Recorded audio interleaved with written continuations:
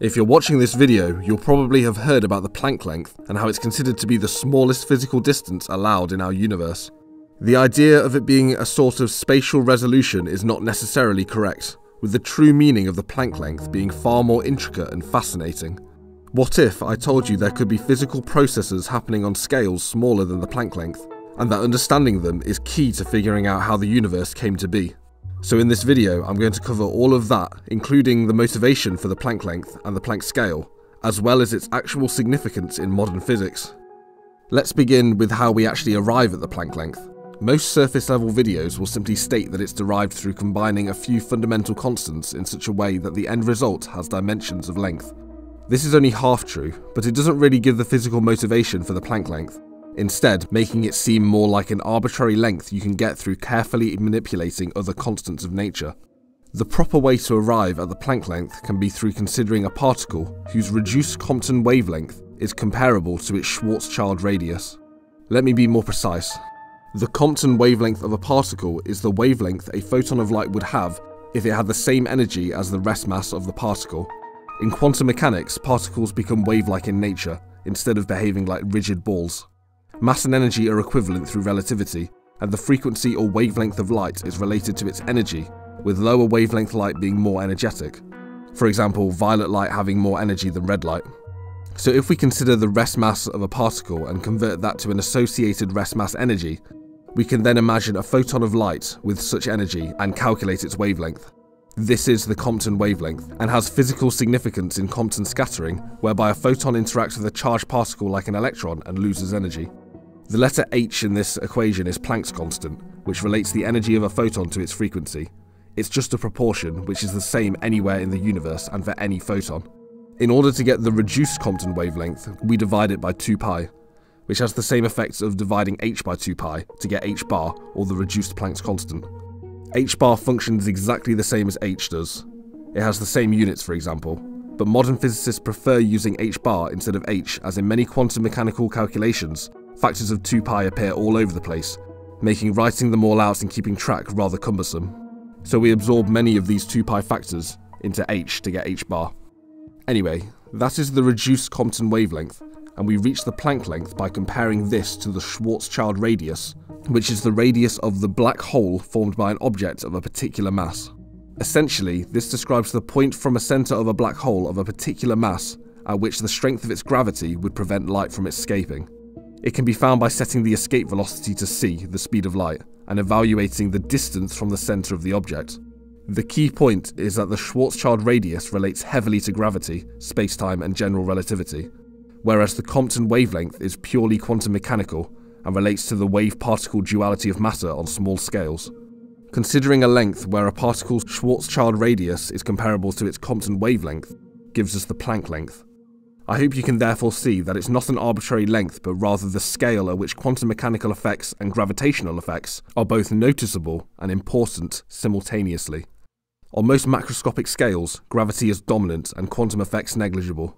The reverse is true for much smaller scales, yet going even smaller still, many orders of magnitude smaller than the size of even a proton, gravity once again becomes relevant and comparable in size to the other fundamental forces.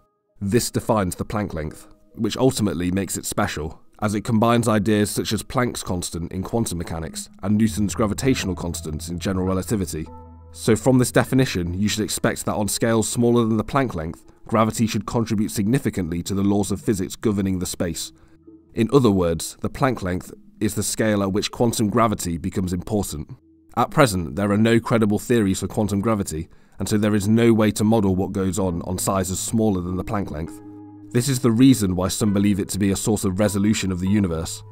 However, using some more rigorous physical insight, we can still make predictions on what could happen on smaller scales.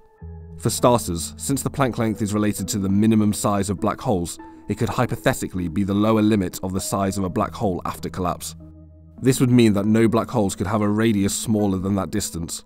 But a far more interesting and fundamental idea comes from considering the different forces on sizes smaller than the Planck length. At extremely high temperatures, the fundamental forces become unified. This has already been proven for the electromagnetic and weak nuclear force, which on temperatures above roughly 10 to the power 15 Kelvin become unified to form a combined electroweak force. At temperatures below this, the state undergoes what's known as spontaneous symmetry breaking and separates them into the two forces we know them as. Interestingly, this is also related to the reason for there being three weak force bosons and only one for electromagnetism. But the key is that this unification likely also happens with the strong nuclear force at an even higher temperature, where the electro-weak and strong become a single fundamental force in a grand unified theory. If you haven't already guessed, we can go even further, and at an even higher temperature, gravity is predicted to also be unified with the others in a single fundamental force which governs the universe. The amount of thermal energy required to see this experimentally has not been achieved in any laboratory, but it is highly likely that in the early universe the forces were unified. We know the universe is expanding, so at early times it's reasonable to assume that it must have been much smaller than it is today. At the epoch where the universe had the diameter of the Planck length, the amount of energy confined in such a small volume would have almost certainly been governed by a unified force, leading back to the necessity of a theory of quantum gravity. The time it takes light in a vacuum to travel the Planck length defines the Planck time. Once the universe was one Planck time old after the Big Bang, symmetry breaking occurred and gravity split from the grand unified force. From here, we can use current models and predictions to derive how the universe and spacetime evolved, eventually leading to the second symmetry breaking into the strong electro-weak, and then finally into the four fundamental forces we see today. But before that initial one Planck time had passed, we have very little to go off. You might be wondering how this can all make sense. You might consider a scenario where a particle or an object is moving through space. Let's say it moves at a constant speed and covers three Planck lengths in two seconds. Then you might think to ask how far it has travelled in one second, and get to the answer of one and a half Planck lengths, and then incorrectly believe that you can predict motion below the Planck scale. Besides the fact that the Heisenberg uncertainty principle would have something to say about such precision, this is also wrong because you would be considering the system classically. In the example, we are using Newton's laws and non-relativistic motion to try and say where the object is. But on sub-nano scales, these laws of motion break down as particles become wave-like in nature. Normally, this is where we would switch to quantum mechanics and use the idea of a wave function and different operators to give probabilities of where the particle could be at any one time. But since we are acting on the Planck scale, where gravity must also be accounted for, even our quantum theories break down and become obsolete. This is the true meaning of the Planck scale. We do not know how to incorporate gravity into quantum mechanics, or as a completely unified force, and we cannot probe such small distances to find out experimentally, since by definition, any energy from a scattering experiment to see beyond the Planck length would manifest as a black hole and prevent us from seeing deeper. I hope you all enjoyed. Don't forget to like and subscribe if you haven't already, and leave a comment if you have any further questions. See you next time.